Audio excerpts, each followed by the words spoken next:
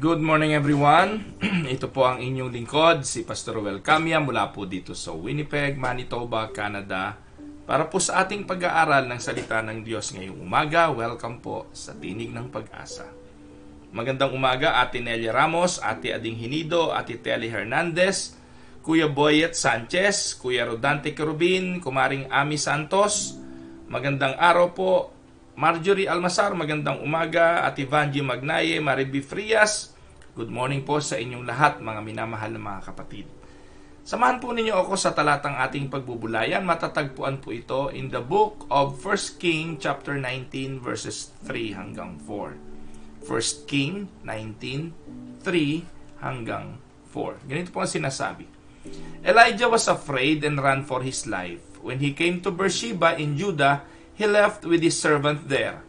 While he himself went a day journey into the wilderness, he came to a broom bush, sat down under it, and prayed that he might die. I have enough, Lord, he said. Take my life. I am no better than my ancestor. Pagpalain ng Diyos ang pagkabasa ng kanyang banal na salita na sa umaga pong ito'y ating pagbubulayan. Sa talata pong ating binasa ay atin pong makikita sapagkat inilarawan ang kalagayan ng isang taong burnout. Ang kalagayan ng isang taong totally depressed, totally devastated, at umihiling sa Diyos na kitilin na o patayin na siya o tanggalin na ang kanyang buhay.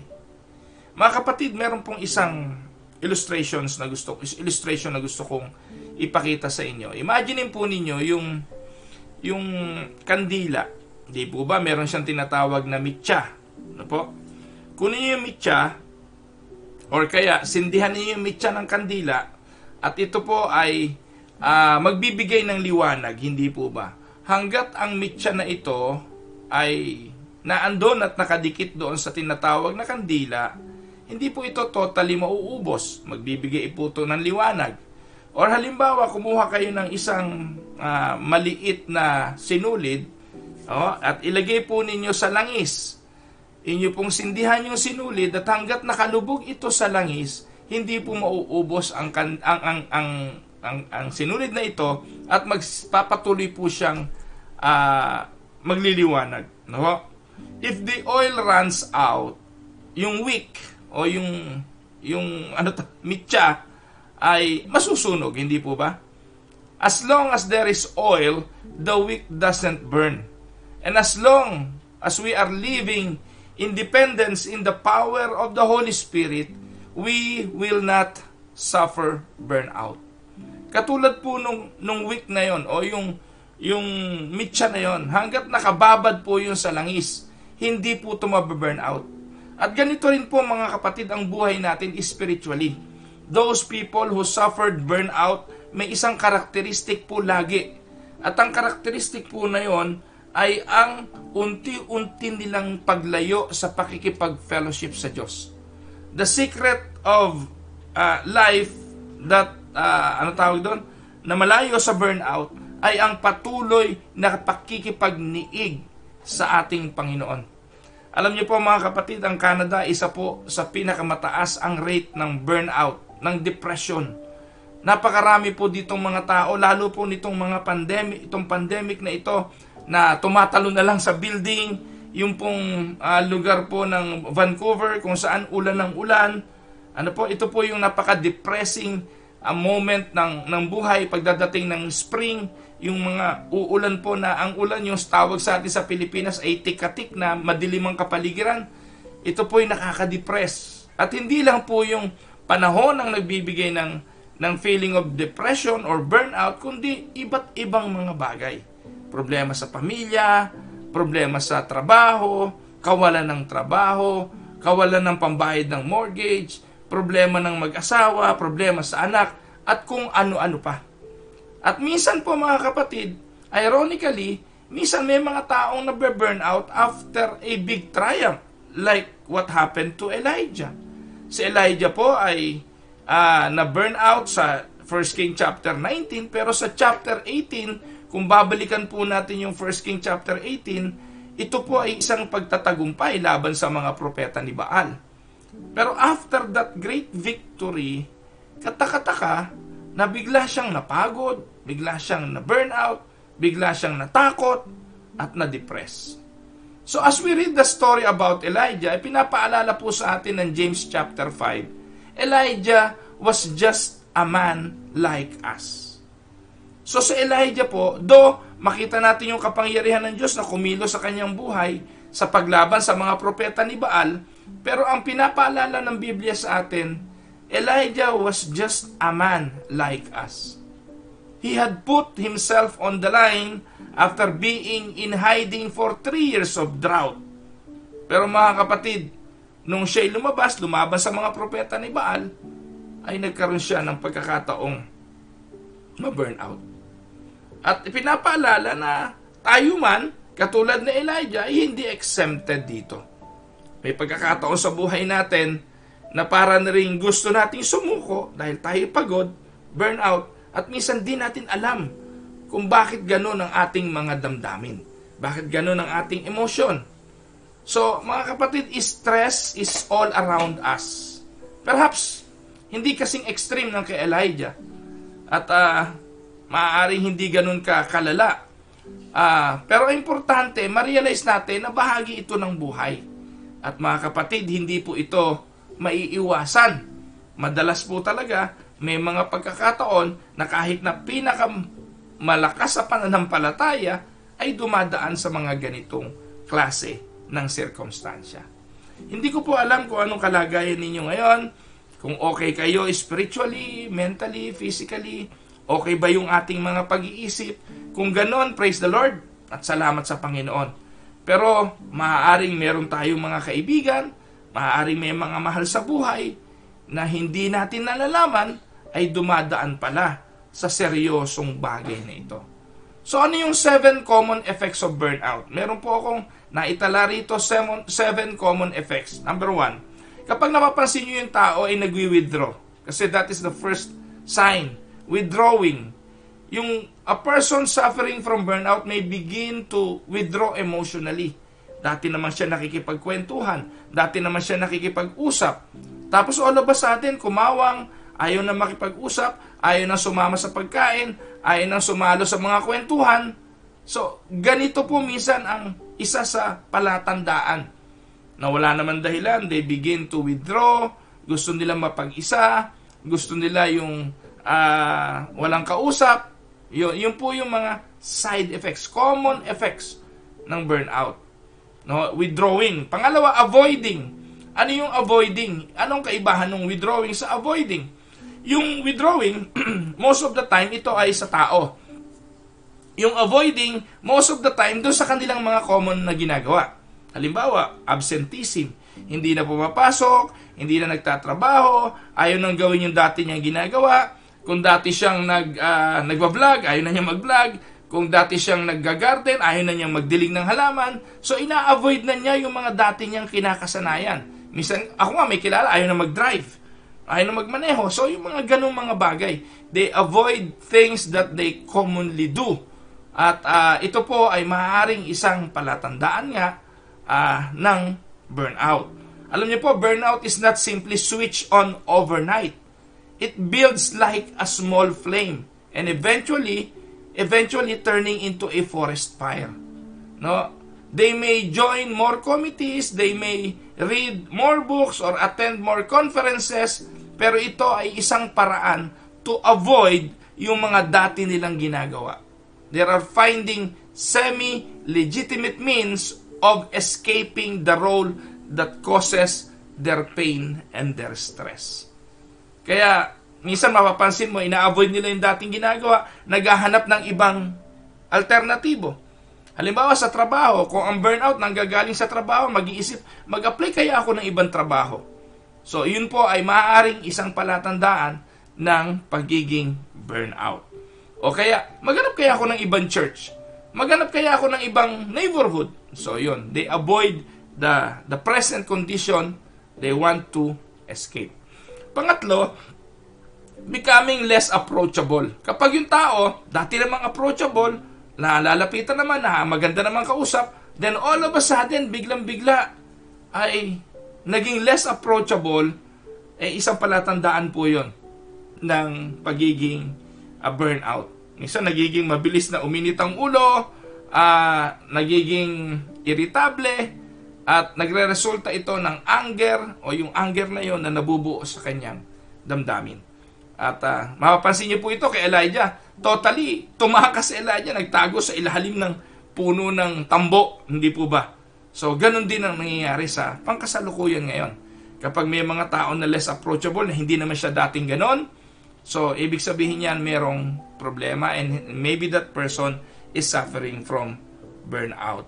Ayan. So, susunod po doon, family problems. Ayan. Na a person suffering from burnout may develop serious family problems.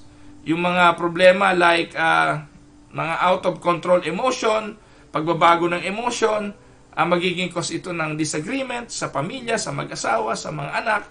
At kung hindi sensitive yung mga pamilya sa biglaang pagbabagong ito, ititreat nila ito hindi bilang burnout kung hindi isang uh, character issue at sa halip na makatulong tayo doon sa taong burnout ay nagagatungan no, without us knowing baka dumating pa nga yung punto na ang taong ito ay humantong sa pagpapakamatay. So, Itong mga palatandaan na ito ay importanteng malaman natin kung hindi man tayo ang ganito, matulungan natin yung mga tao na dumadaan dito. Pangat, uh, susunod po at uh, pang uh, apat na dahilan ay yung tinatawag, panlimang dahilan ay yung tinatawag na openness to sin. One of the most destruct, destructive effect of burnout is the increased susceptibility sa kasalanan. Ano po? So, yung, yung tinatawag na self-gratification, hahanap siya ng ibang alternative na paraan para solusyonan yung kanyang nararamdaman, hahanapin niya to sa iba. Kung ang burnout ay nag-produce na ng problema sa asawa, problema sa mga anak, hahanap to ng ibang relationship, hahanap to ng ibang com- companion. So, nagiging cause ito ng pagiging open sa kasalanan. Yung iba, they resorted into alcohol, uh, drinking, yung iba, they resorted into drugs. Kaya po, sa halip na, na masolusyonan, lalong nagiging open sa kasalanan. At sabi nga, yung old sinful patterns may return. Kung dating hindi na naninigarilyo, maninigarilyo. Kung dating hindi na umiinom, umiinom. Itong mga palatandahang ito ay maaaring bunga ng burnout.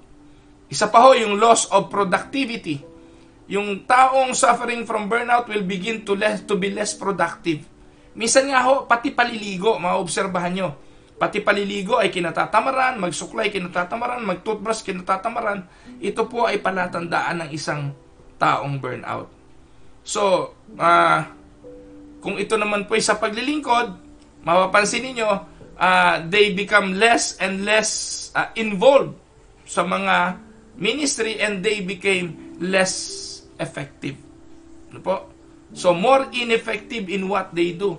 Kung dati po napaka-active sa pangangaral, napakahusay sa pagpipreach, makikita nyo pati ang preaching, pati ang pangangaral na napapa, napapahamak, napapabayaan. So, yun po ay isa sa palatandaan. They became uh, less product, productive sa kanilang mga ginagawa. At panghuli, yon wanting to give up. Ito na po yung medyo delikado. A person suffering from burnout may want to give up their ministry. They want to give up their life. Sabi nga po ng research, 28% of all Protestant minister are considering give up the ministry at any point in time. Take note, 28% of all Protestant minister, ministers, ministers are considering giving up the ministry at any point in time. At aaminin ko po sa inyo, Naranasan ko po ito. Marami pong pagkakataon sa ministeryo ko na gusto ko nang sumuko. Nung ako po ay nasa nasa Caloocan, naranasan ko to. Nung nasa Cavite City, naranasan ko to. Nung ako ay nasa direktoryo, naranasan ko ito. At nung dumating ako sa Canada, naranasan ko po ito. At ang mga karanasang ito ay totoo. No, yung wanting to give up, wanting to go back to the, the, the former days, the good old, the good old days. At alam niyo po mga kapatid, this is a serious matter. Ito po ay mga palatandaan ng burnout. Kaya kung meron po kayo nakikitang ganitong klase ng mga uh, palatandaan, sa inyong sarili o sa kung kanino man, alam niyo po, merong solusyon dyan. Merong solusyon. Pag-usapan po natin ng ilang mga mga solusyon in order to get back from burnout. Mga pwedeng gawin para maka, ma, mapagtagumpayan ang mga problemang ito ng pagiging burnout. Kapatid, kumusta? Tatanungin ko muna uli kayo bago tayo magpatuloy. Kumusta ka? Kumusta ang trabaho? Kumusta ang pamilya? Kumusta ang iyong buhay? Burnout ba? Narito ang ilang pwede mong gawin. Number one, tell someone, this was hard. I think it is for most leaders the difficult thing to do. Kasi po, ikaw ang nangunguna. For me, for instance, ako ang leader, ako ang madalas sabihan, ako ang madalas takbuhan, ako ang madalas hinihinga ng counsel, ako ang madalas nagbibigay ng payo. Napakahirap para sa akin ang humanap ng pwede kong pagsabihan ng mga pinagdadaanan ko.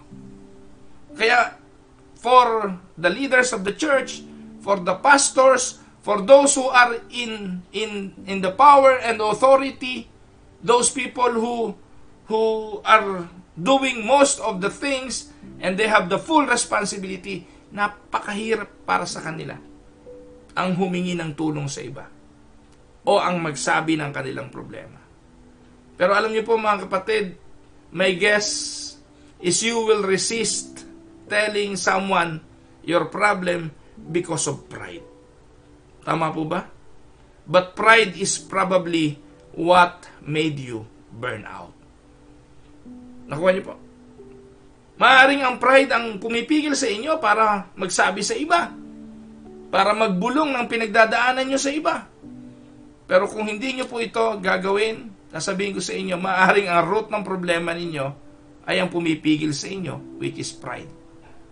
Don't miss this, my, my dear brothers and sisters.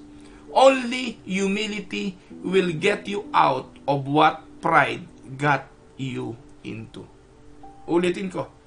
Only humility will get you out of what pride got you into. So swallow your pride and tell someone safe that you have a problem. I know it's tough, but it's the first step towards wellness. When you admit it to other people, you also finally end up admitting to yourself that you have a problem. Amen? Kaya, huwag po matigas ang ulo. Pwede naman po na, na humanap ng mapagkakatiwalaang kaibigan. Eh, wag lang dun sa mga, alam nyo, chismoso, chismosa, na mga kapitbahay ninyo sabihin, sabihin nyo sa mapagkakatiwalaang kaibigan sa pastor o kung kanino man. Pangalawa, iyon nga ho, apa, after telling someone, get help. No? Tandaan po ninyo, ilagay nyo sa isip ninyo na ang burnout ay problemang personal at emotional. You cannot do this alone. Really, you cannot. No? Marami pong mga trained counselor, trained professionals na pwede nyong hingian ng tulong para tumulong sa inyong journey sa paglaya dito sa burnout na ito. You need to talk to your doc, to your doctor, to a trained Christian counselor. And you need others. Ano po? Maaring napakalaki ng dahilan ng burnout pero hindi po ito kasi laki ng Diyos na meron tayo. Hindi ito kasi laki ng community na pwedeng magmahal sa iyo. Hindi ito kasi laki ng support na pwedeng i-provide ng mga taong nakapaligid sa iyo. So get help. Amen? get help. Talk to someone, get help. Pangatlo, keep leaning into God. Keep leaning into God. Just because God seems silence doesn't mean that He is absent. Hindi palibasa tahimik ang Diyos ay nangangahulugang wala siya. Maaaring tahimik siya, hindi mo siya naririnig, pero hindi nangangahulugan na wala siyang pakialam in this pivot, pivotal moment of your life, you will either lean away from God or lean into Him. So, my challenge is, the more you become depressed, the more the time you need to read the scripture, the more you, the more, mom, the moment, the more time you need to dwell in His promises. And just because you can't feel God doesn't God mean God's love doesn't mean He doesn't love you. Your emotions will eventually catch up to your obedience. So, sumunod lang muna tayo at tandaan po ninyo, yung pagiging obedient natin sa Diyos, binabago nito ang karakter natin, ang ating attitude, pati ang ating isipan. And as we continue to dwell in His words, malaking bagay po ito. Gaya po ng binabanggit ko mga kapatid, ang tinig ng pag-asa ay therapeutic para sa akin therapeutic in a sense na araw-araw ay will always ano tawag doon? Uh, have an opportunity to to dwell in the Word of God. Minsan nga po, pag Wednesday, meron na akong tinig ng umaga sa umaga, meron pa akong prayer meeting sa gabi. Minsan, dalawang sermon sa maghapon, tapos sa pagitan ng tanghali at ano, may maghihingi pa ng counseling, mag, mag, magbibigay pa rin ako ng mensahe. Pero itong mga bagay na ito, mga kapatid, therapeutic para sa akin. Because this is my way of leaning more into God and into His promises. Susunod pong pwedeng gawin ay magpahinga. Most burnout people, ang cause ay pagod. Physical, mental, emotional. Tandaan po ninyo, God created you and designed you to rest and to rest in God. Pangit man pakinggan, ano po? Pero ito yung sabi. Ang Diyos nga nagpahinga sa ika-anim na araw. O on the seventh day. After creating the world on six days, on the seventh day, He rested. Kung ang Diyos nga nagpahinga, pinapakita, hindi dahil napapagod ang Diyos, no? Hindi dahil napapagod ang Diyos, kung hindi pinakikita rito ang isang palatuntunan na ikaw tao, nakadisenyo ka rin magpahinga. Minsan, Kahabol natin ang kahabol sa buhay para tayong asong hinahabol ng kanyang buntot. Have you seen a dog chasing his own tail? Ano nangyayari? Ikot lang ng ikot yung aso. At hindi titigil yung aso yun dahil hindi naman niya aabutan ng kanyang buntot. Hindi siya titigil hanggat hindi siya bagsak at pagod na pagod. Ganito ang maraming mga tao ngayon. Habol tayo ng habol sa buhay, habol tayo ng habol sa karir, habol tayo ng habol sa iba, habol tayo ng habol sa mga bagay na hindi naman natin aabutan, ano nangyayari? Napapagod tayo. Alam niyo po ba, ito lang issue ng ABS-CBN shutdown? Napakaraming taong na-stress. Hindi naman sila empleyado ng ABS-CBN. Napakaraming mga tao na problema dahil lang sa TFC na para bang ikamamatay nila kapag wala na silang telebisyon. Mga kapatid, pahinga. Ipahinga ang isip. Ipahinga ang ating mga katawan. Alam niyo po, minsan nga, kung katawan lang ang problema, pagod lang ng katawan, di ba? Dalawa, tatlong oras lang napahinga, okay ka na eh. Pero pag pagod na isipan, mahirap ito. Pero again, ang sagot dito, ipahinga mo rin ang iyong isipan sa mga pangako ng ating Panginoon. Rest because you were designed to rest. Panlima, Find something else to take your attention away from your pain. Wala po na, hindi naman po, po pwedeng walang pinanggagalingan. Minsan burnout tayo saan? Sa trabaho. So ano pong dapat gawin? Pwede bang gamitin mo muna yung leave mo, yung vacation leave mo, para sandaling mawala ka doon sa trabaho mo, hindi dahil tinakasan mo, hindi dahil nag-absent ka, kung hindi kumuha ka ng leave. Kasi ito ang pangunahing kailangan eh The problem with pain is when you do nothing, you only have your pain to focus on. So distraction is a powerful tool to get your mind thinking about other things. So minsan, kapag wala ka na doon sa nagiging dahilan nung nung ano tawag doon, nung nung pain, nung burnout, naka, nagkakaroon ka ng pagkakataong makapag-isip-isip. Mga kapatid, napapansin niyo po ba? Mahilig ako sa halaman. Mahilig po ako sa fishing. Yung misis ko, minsan no, binibiro ko lang yun kapag sinasabi ko na, oh, halaman pa, sige, bili pa. Pero in essence, ako po nga nagyayakag sa misis kong bumili ng halaman. Kasi para sa akin, therapeutic din yon. Kapag nakakabuhay po ako ng isang halaman, Natutuwa po ako ron. Imagine po niyo ang kamatis, ubod ng mura, kamatis dito eh. Minsan ilugi ka pa, bibili ka ng punla. Yung ibinili mo ng punla, ibili mo ng kamatis, ubod ng daming kamatis noon. Pero bakit pa kailangan magtanim? Bakit kailangan magpakahirap? Because those things are way to get you at least no, a moment out of the common things that you were doing na minsan ay nakaka-burn out. Pero minsan may mga taong wala ng outlet. Wala na talagang ibang ginagawa. Yung iba naman natutuwa ako, they, they venture into creative things like carpentry, gardening. So yun po, take your attention away. Find something else to take your attention away from the cause of your burnout. Alam niyo po, withdrawal is a sign of burnout.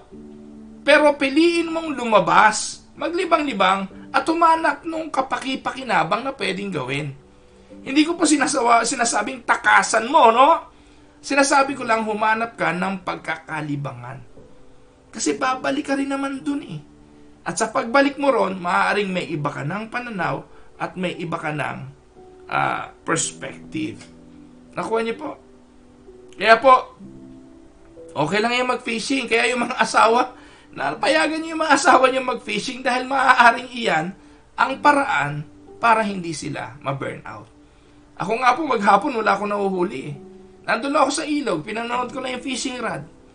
At tingin-tingin sa ilog, sa agos ng ilog, sa huni ng ibon, sa, sa kung ano-ano lagaslas ng tubig. Those things are therapeutic. So find something else to take your attention. At alam niyo po, pag ako nando sa lugar na yan, pinapatay ko cellphone ko. Ayoko munang makatanggap ng ganito, ng ganito, ng ganyan, ng message. At least kahit papaano, malayo ka sa distraction. Panganim, don't do anything drastic or stupid. I want you to keep this in mind at panatilihin nyo sa inyong mga pandinig. Don't do anything drastic or stupid. Because my, most of the time, yung atin pong burnout, no, there is a temptation to do all things or to do all kinds of things that could have ruined your life. Uutosan ka nitong tumakas, lumayas, iwanan mo na pamilya mo, pumunta ka na sa ganon, bumalik ka na sa ganon, no? at i-abandon na ang kasalukuyan. At kung trabaho ito, minsan drastically, walang isip-isip, resign hindi nag-iisip, nagpapaalam. At pag uwi mo, ano, di problema pa rin. At kung ano-ano pa, at minsan humahantong nga sa desisyon na kiti- kitilin ang buhay o magpakamatay. So when you are depressed, when you are burnout, don't do anything drastic. And number seven, I want you to trust again. Alam niyo po, one of the contributing factors sa burnout ay ang kawalan ng tiwala. Kawalan ng tiwala sa Diyos, kawalan ng tiwala sa iba, at ang hamon po, subukan mong magtiwala uli. Po. Misan po mga kapatid ay naandun ang solusyon eh.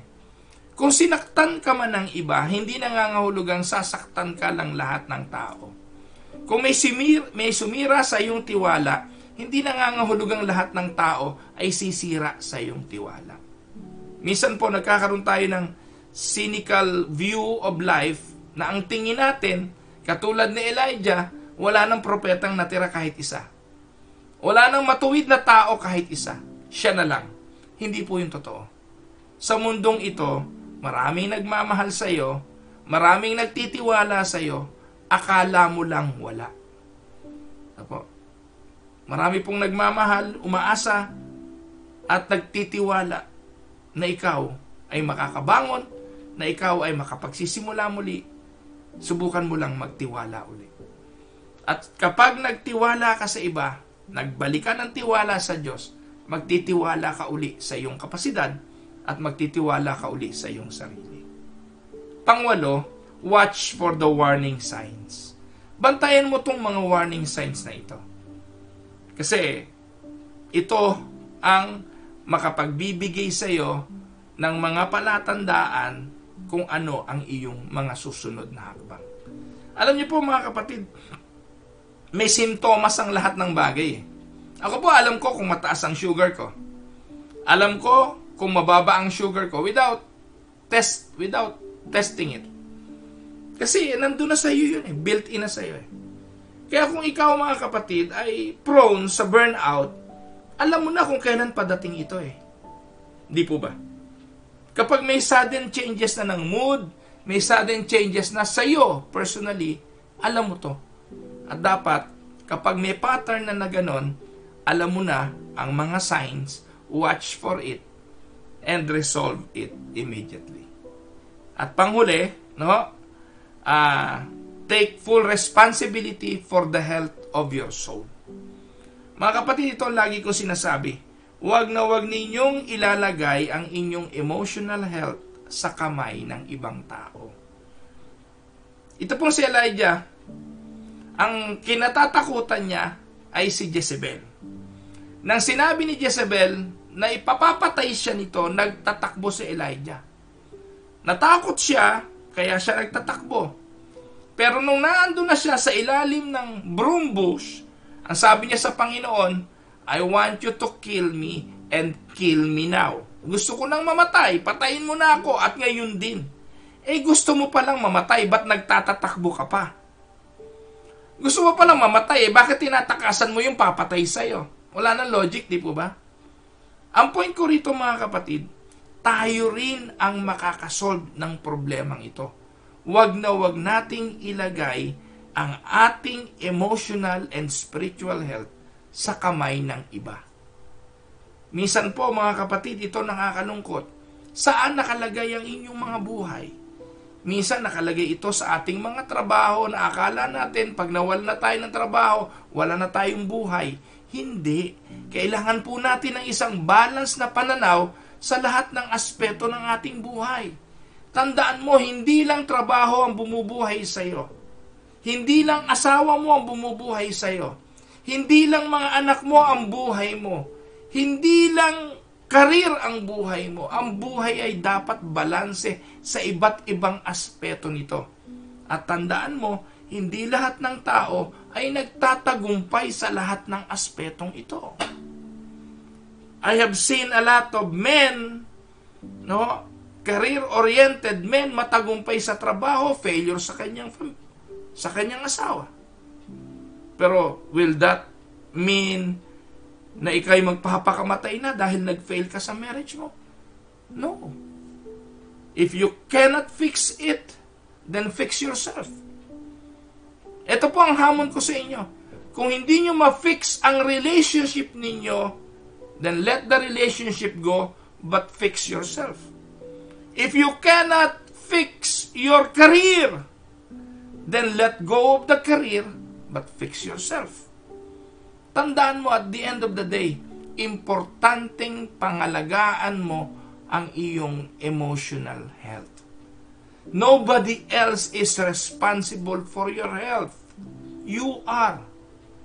So always pray, read your Bible, seek life, giving friendship, replenish, seek life, giving friendship, replenish your energy, eat right, work out, love deeply, love deeply, And these things nourishes your soul. And if you don't do them, take note, nobody will. It is your responsibility. Ngayon, sa umagang ito, masama loob mo dun sa tao. Ang tanong, saan mo inilagay yung emotional health mo? Doon sa kamay ng taong yun. Kontrolado ng taong yon ang iyong emosyon dahil galit ka sa kanya Subukan mong palayain mo yung taong yon. Huwag mo na siyang intindihin. Let go. Tanggalin ang galit. Wala siyang control over you. Because you are now in control of your emotions. Take full responsibility for the health of your soul. Amen? Purihin po ang Panginoon. Napahaba yata tayo ng atin pong pag-aaral ngayong umaga. Pero this is in response sa ilang mga karanasan ng ilang mga taong naipapahayag sa atin sa inyong lingkod. At naniniwala po ako, walang problema dumating sa buhay natin na hindi natin kaya sapagkat ang Diyos ang ating kakayahan. Walang problema dumating sa atin na hindi naranasan ng ibang tao at tapat ang Diyos na kapag dumating ang problema, bibigyan niya rin tayo ng lakas para mapagtagumpayan ito. Amen? Purihin po ang Panginoon. Inaanyahan ko po kayong saglit na tumungo. Tayo po ay mananalangin. Nagpapasalamat po kami, Panginoon, patuloy na humihiling ng kagalingan para sa aming mga kamanggagawa. Ipuin at pagpalain mo po ang aming Pastor John Ocol, si Epoy, si Romel, si Mark na mga pamangkin ni Ate Heidi. Ganon din po si Ate Heidi, patuloy na kalusugan para sa kanyang katawan. Uh, ang kapatid na Oji, si Ate Galo Tonggian, si Ate Mayet Rodriguez, si Ate Tessie, si Ate Myra, si Kuya Elmer, si Ate Mildred Paredes, pagpalain mo po sila, Panginoon. Dalayan ko rin po ang pamangkin ni Tito Bert Castillo na si Felix, sa iyong mga kamay ay tinatagubilin ko po siya, Panginoon. Ganon din po si kapatid na Carl Jason Ruin, si Debbie ng taga Grand Prairie, ang lolo Abe ng aking may bahay, si kapatid na Jules Masalunga, ang pagdadalang tao ni Jonah Adaw at pasasalamat, Panginoon, sa patuloy na biyayat kalakasan sa pagluluwal ng sanggol na babae sa tahanan po ni Ezra at ni Neil Atanasio. Salamat po, Panginoon, sa patnubay mo kay Ezra. Patuloy po namin dinadalangin, Ama, ang nanay ni Ate Wenny Domingo.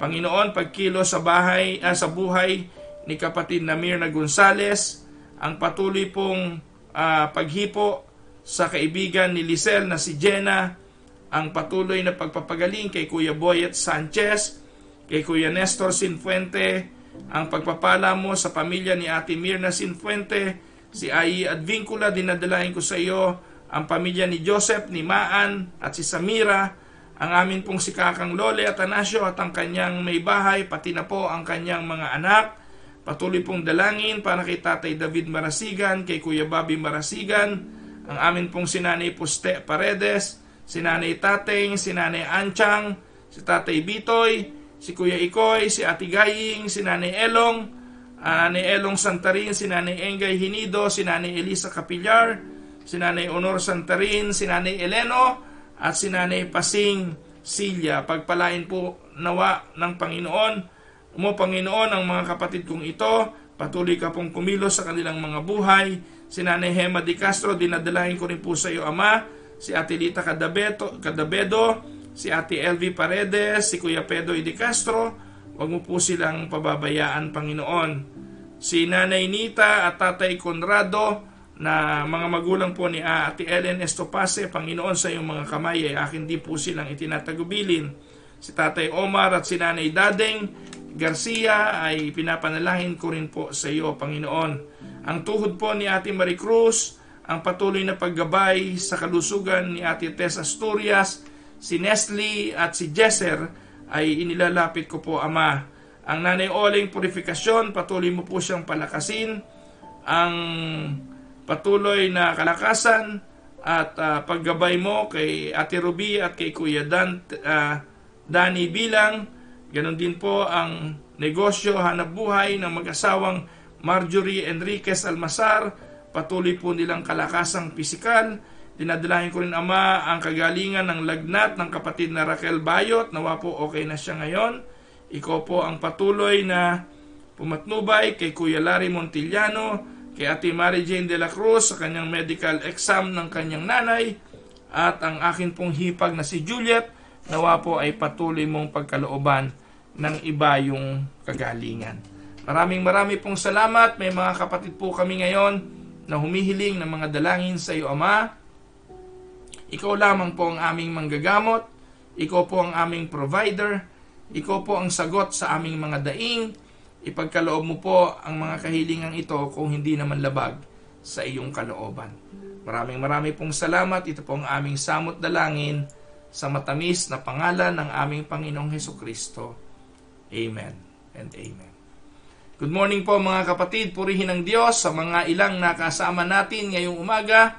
Babasahin ko po ang ilan sa inyo, Ati Banji Magnaye, kapatid na Agnes Causaren, Kuya Larry Montillano, Ate Carolina Bukiran, Ate Cora Dolor, Marivet Eusebio, kapatid na Dario Sanchez, pagpalain po kayo ng Panginoon Ati Nora de la Cruz, Ati Mirna Narciso, kapatid na Joy Reyes, uh, Arlene Ropeta, magandang araw Arlene. Kumusta sa ating mga tiyahin at kamag-anak dyan sa Anabu? Pagpalain kayo ng Panginoon. Mel Valdez, magandang araw. Ati Echi Bartolome, magandang araw sa iyo at dalangin ko ang iyong hanap buhay na patuloy na pagpalain ng Panginoon. Ati Telly Hernandez, magandang araw po. Ayan. Ayun sabi ni Ati Telly, salamat sa Diyos, binigyan niya ako ng talent, makapanahin ng face mask. Ito ang nagiging therapeutic ko sa burnout. Ayun, no? kita nyo, ang ganda ng suggestion ni Ati Telly. Manahe ng face mask. Ate Flor de Lisa Maynes, magandang araw po. Kapatid na Marjorie Almasar, pagpalahin ka ng Panginoon kapatid at ang iyong may ang iyong asawa, ang inyong hanap buhay. Ate Estelita Tibayan, magandang araw po sa inyo. Darren and Marlet Sakdalan, magandang araw sa inyo. Kumaring Ami Santos, Kuya David Manipol, Ate Nedia Ramos, Kuya Eric Maynes, Ate Myra Paredes Libertino at mga kapatiran sa Aristocrat, magandang araw po sa inyo. Ah... Si ati kapatid na Lorna Gamier. Lorna, magandang araw. Kay Princess Gaida, magandang araw din. Ati Nelia Nasaire, kapatid na Nelia Nasaire, magandang araw sa iyo. Uh, Ati Neri Cabral, good morning po sa inyo. Ati Neri, Ati Laila Lontok, magandang araw po sa inyo. Ati Ellen Gonzales and Kuya Monching Gonzales, Joy Reyes, at Ati Yoli Kerubin, Ate Nene Enriquez, Kuya Dol Paredes, at uh, Kuya Manix Cruz, magandang araw po sa inyo. Kapatid na Emil Serrano, magandang araw. At kapatid na Miriam Galvan, ayan. Ate Delia Magkawas at Kuya Ban Magkawas, magandang araw po. Ma'am Jo Kalanog, good morning po sa inyo, good evening po sa inyo. At sa aking pinsan, Lily Camyalu, magandang araw bunso. Ayan, sana ang Diyos ang patuloy na umaliw sa iyo sa anumang mga karanasan ng buhay. Kapit lang bunso, hang on, and uh, let's keep on trusting the Lord. At uh, you are always part of my prayer. So mga kapatid, maraming maraming salamat. Tuesday po ngayon sa, uh, let's see, sa Friday, meron po akong announcement. Ayan, sa Friday. Maganda po yun. Basta sa Friday, sa kalooban ng Diyos, sa biyernes, meron po akong magandang announcement para sa inyo. So, purihin po ang Panginoon. Ate May Atanasio, magandang araw. And again, uh, Maribet, happy birthday nga pala si Maribet, birthday ngayon. No? Kapatid ni Marjorie uh, Almasar. Nakita ko nga pala nung uh, si Maribet, kakapraso yan nung naandun sa Caloocan, nung ako ang pastor doon eh. O ngayon may asawa na at may, may, may mga anak na. Nanay Belen Olaes, magandang araw. At Evangeline Alili, Aliliran, magandang araw po. Ayan, so pagpalain po kayo ng Panginoon. At uh, again, it's Tuesday ngayon. I hope uh, yung mga magsisimula pa lang ng umaga ay magsimula po tayo ng may positibong pananaw at yun naman pong mga uh, magpapahinga na ngayong gabi, pagkalooban kayo ng Panginoon ng kapahingahan. At uh, gusto ko lang pong batiin ang birthday po ni Tatay Eloy ngayong umaga. Tatay Aloy na asawa po, ang tatay po ni Ate May Atanasio. Uh, magandang good morning po and happy birthday tay. Pagpalain kayo ng Panginoon, bigyan pa ho kayo ng kalakasan, at uh, patuloy na biyaya. Ano po? Ganon din po, congratulations sa pamilya ni Neil at ni Ezra Atanasio for a bouncing baby girl. Patay ka ngayon, Neil Atanasio. Tatlo na yan. Tatlo, tatlong babae na yan sa buhay mo. Si Ezra, si Riley, at saka yung iyong bagong baby. So, salamat po sa Panginoon. Alam niyo po, nagagalak ako. Si Neil Atanasio po, isa sa mahusay po na realtor yan dito sa Winnipeg kung nangangailangan po kayo ng bahay dito sa Winnipeg at uh, gusto nyo maghanap ng bahay napakasipag, kahit po saan dadalhin kayo niya, ma, maihanap lang kayo ng bahay. At uh, bilib po ako kasi meron po kaming ipinatrabaho sa kanya recently sa kabila ng kanyang asawa ay nasa hospital at na mala, nanganganak na eh, he is very attentive doon sa mga query, sa pangungulit ko sa kanya, sa mga tanong ko sa kanya. At uh, I would like to thank you Neil Atanasio for helping no po doon sa mga iniutos ko sa iyo recently. So purihin po ang Panginoon. I hope makalabas na si Ezra. I think ngayong yatang araw lalabas na. At uh, pagpalain po kayo ng Panginoon. God bless everyone. Maribet Eusebio, happy birthday kapatid. At ang iyong buhay ay patuloy na pasaganain ng ating Panginoon. Ito po ang inyong lingkod, si Pastor Roel Camia para po sa Tinig ng Pag-asa. God bless everyone.